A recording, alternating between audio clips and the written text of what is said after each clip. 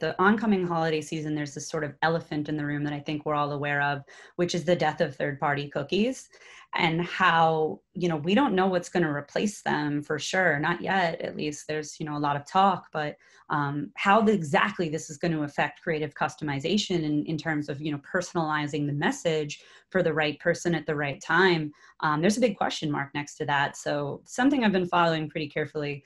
Um, I think this is actually really great news when it comes to the publishers specifically because the publishers have this robust audience data they're going to be able to offer. And as privacy changes continue to you know just sweep the industry and we don't know what's happening on any given day um, we're going to see this move um, when it comes to personalization towards um, a more like customer centric approach of owning your own data. And i think the advertisers are going to need to find new ways to target those audiences. The publishers are going to have those ways. The publishers are going to have the audience the information about their audiences. Like we were saying before they know the way that their audience reacts to the content on their sites to the advertisements that are aligned with that content.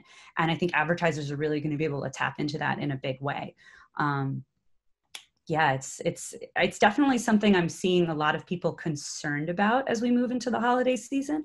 Um, and i think what i'm what i'm noticing is the contextual personalization is is making a comeback like being able to target uh, a user based on the context of where they are you know in the moment as opposed to some sort of behavioral targeting where they've been in the past 30 days. I think i think that's what we've been seeing a lot more of lately